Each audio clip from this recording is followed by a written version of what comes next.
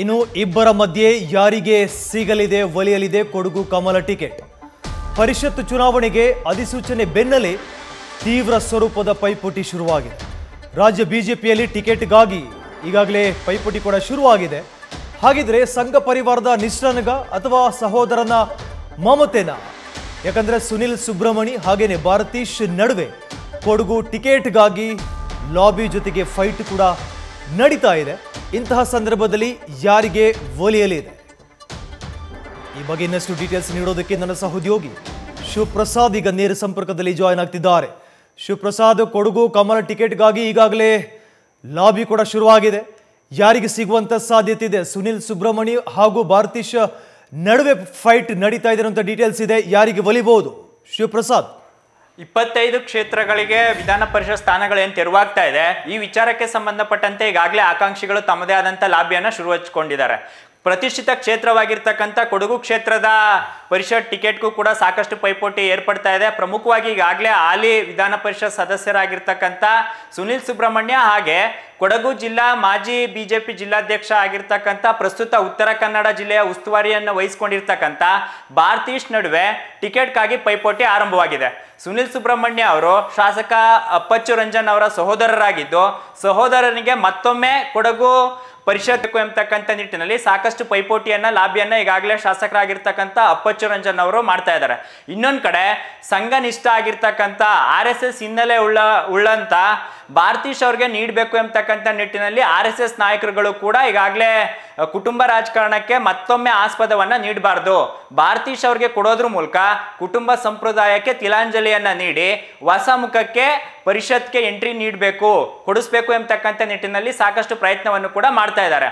ಹಾಗಾಗಿ ಎಲ್ಲೋ ಒಂದ್ ಕಡೆ ಕೊಡಗು ವಿಧಾನಸಭಾ ಕ್ಷೇತ್ರಕ್ಕೆ ಬಂದ್ರೆ, ಅಂದ್ರೆ ಆ ಜಿಲ್ಲೆಯಲ್ಲಿ ರಾಜಕೀಯ ವಾತಾವರಣವನ್ನ ನೋಡಿದ್ದೇ ಆದಲ್ಲಿ ಸಹಜವಾಗಿ ಸಂಘ ಪರಿವಾರ ಮತ್ತೆ ಭಾರತೀಯ ಜನತಾ ಪಕ್ಷದ ನಾಯಕರು ಎಂಬತಕ್ಕಂಥ ನಿಟ್ಟಿನಲ್ಲಿ ಪೈಪೋಟಿ ಆರಂಭವಾಗಿದೆ. ಎಲ್ಲೋ ಒಂದ್ ಕಡೆ ಜಿಲ್ಲೆಯಲ್ಲಿ ಇರ್ತಕ್ಕಂಥ ಬಿಜೆಪಿ ನಾಯಕರು ಸಂಘ ಪರಿವಾರದ ಆರ್ ಎಸ್ ಎಸ್ ನಾಯಕರ ಮಾತಿಗೆ ಮನ್ನಣೆಯನ್ನ ನೀಡ್ತಾ ಇಲ್ಲ. ಆ ಜಿಲ್ಲೆಯಲ್ಲಿ ಸಂಘ ಪರಿವಾರ ಭಾರತೀಯ ಜನತಾ ಪಕ್ಷದ ವ್ಯಾಪ್ತಿಯೊಳಗೆ ಬರ್ತಾ ಇಲ್ಲ. ಭಾರತೀಯ ಜನತಾ ಪಕ್ಷದ ನಾಯಕರು ಸಂಘ ಪರಿವಾರದ ಯಾವುದೇ ಸೂಚನೆಗಳನ್ನು ಕೂಡ ಪಾಲಿಸ್ತಾ ಇಲ್ಲ ಎಂಬತಕ್ಕಂಥ ಮಾತುಗಳು ಕೂಡ ಸಂಘ ಪರಿವಾರದಲ್ಲಿ ಚರ್ಚೆ ಆಗ್ತಾ ಇದೆ. ಹಾಗಾಗಿ ಆರ್ ಎಸ್ ಎಸ್ ಮುಖಂಡರು ಈ ರೀತಿಯ ಅಂದ್ರೆ ಪಕ್ಷನಿಷ್ಠ ಭಾರತೀಶ್ ಅವ್ರಿಗೆ ಸಂಘ ಅಲ್ಲಿನ ಟಿಕೆಟ್ ಅನ್ನ ಕೊಡಿಸೋದ್ರ ಮೂಲಕ ಮತ್ತೊಮ್ಮೆ ಜಿಲ್ಲೆಯನ್ನ ತಮ್ಮ ತೆಕ್ಕೆಗೆ ತೆಗೆದುಕೊಳ್ಬೇಕು. ಯಾವುದೇ ಚಟುವಟಿಕೆಗಳಿರ್ಬೋದು ಪಕ್ಷ ಸಂಘಟನೆ ಇರ್ಬೋದು, ನಾಯಕರುಗಳನ್ನ ಪರಿಷತ್ ಚುನಾವಣೆ ಇರ್ಬೋದು, ವಿಧಾನ ಪರಿಷತ್ ಚುನಾವಣೆ, ಸ್ಥಳೀಯ ಸಂಸ್ಥೆಗಳ ಚುನಾವಣೆ, ಜಿಲ್ಲಾ ಮತ್ತು ತಾಲೂಕು ಪಂಚಾಯಿತಿ ಚುನಾವಣೆಗಳಿರ್ಬೋದು. ಯಾವುದೇ ವಿಧವಾದಂಥ ಚಟುವಟಿಕೆಗಳು ಬಂದಂಥ ಸಂದರ್ಭದಲ್ಲಿ ಪಕ್ಷ, ಆರ್ ಎಸ್ ಎಸ್ ಸಂಘಟನೆಯ ವ್ಯಾಪ್ತಿಯೊಳಗೆ ಬರಬೇಕು ಎಂಬತಕ್ಕಂಥ ನಿಟ್ಟಿನಲ್ಲಿ ಪರಿಷತ್ ಚುನಾವಣೆಯ ಅಖಾಡ ಏನಿದೆ, ಈ ಅಖಾಡದಲ್ಲಿ ಒಂದು ಬದಲಾವಣೆಯನ್ನು ಮಾಡಬೇಕು. ಯಾವುದೇ ಕಾರಣಕ್ಕೂ ಶಾಸಕರ ಸಹೋದರನಿಗೆ ಮತ್ತೊಮ್ಮೆ ಟಿಕೆಟ್ ನೀಡೋದು ಬೇಡ.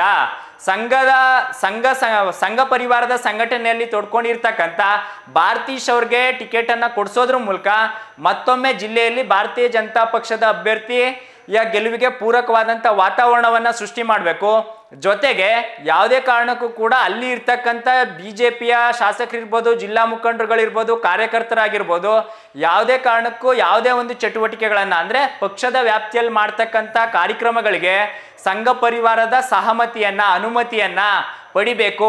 ಆ ಮೂಲಕ ಕೊಡಗು ಸೇರಿದಂತೆ ರಾಜ್ಯದ ಎಲ್ಲ ಜಿಲ್ಲೆಗಳಲ್ಲೂ ಕೂಡ ಪಕ್ಷದ ಚಟುವಟಿಕೆಗಳಿರ್ಬೋದು, ಕಾರ್ಯತಂತ್ರಗಳಿರ್ಬೋದು, ಯಾವುದೇ ಚುನಾವಣೆಗಳಿರ್ಬೋದು, ಆ ಸಂಘ ಪರಿವಾರದ ನಾಯಕರ ಮಾರ್ಗದರ್ಶನದಲ್ಲಿ ನೇತೃತ್ವದಲ್ಲಿ ನಡಿಬೇಕು ಎಂಬತಕ್ಕಂಥ ಲೆಕ್ಕಾಚಾರದಲ್ಲಿದೆ. ಹಾಗಾಗಿ ಈ ಬಾರಿ ಒಂದು ಕಡೆ ಸಹೋದರ ವಾಸ್ತಲ್ಯನ ಅಥವಾ ಸಂಘ ನಿಷ್ಠ ಸಂಘ ಪರಿವಾರದ ನಿಷ್ಠನಿಗೆ ಈ ಬಾರಿಯ ಟಿಕೆಟ್ ಸಿಗಲಿದೆಯಾ ಅಂತಕ್ಕಂಥ ಚರ್ಚೆ ಶುರುವಾಗಿದ್ದು ಅಂತಿಮವಾಗಿ ಸಂಘ ಪರಿವಾರದ ನಾಯಕರಿರ್ಬೋದು ಭಾರತೀಯ ಜನತಾ ಪಕ್ಷದ ಹೈಕಮಾಂಡ್ ಯಾವ ನಿರ್ಧಾರವನ್ನ ತೆಗೆದುಕೊಳ್ಳುತ್ತೆ ಅಂತಕ್ಕಂಥ ಚರ್ಚೆಗಳು ಕೂಡ ಈಗಾಗಲೇ ಕೊಡಗು ಜಿಲ್ಲೆಯ ಬಿಜೆಪಿ ಕಾರ್ಯಕರ್ತರಲ್ಲಿ ಚರ್ಚೆ ಆಗ್ತಾ ಇದೆ.